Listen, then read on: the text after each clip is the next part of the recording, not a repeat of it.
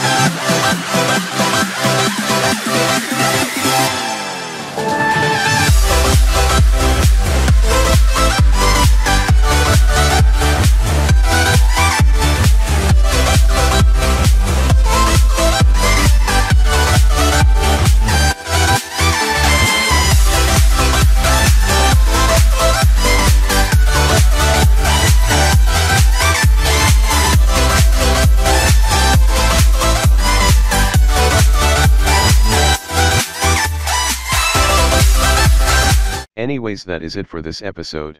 Honestly I think I collected a decent amount of stamps in this episode and I'm surprised I was able to make it till level 29 at Astro Barrier. In the next episode, I will explore the Wayback Party. If you guys enjoyed this video, then please like, comment, and subscribe for more Club Penguin Legacy videos. With that being said, see you guys next time.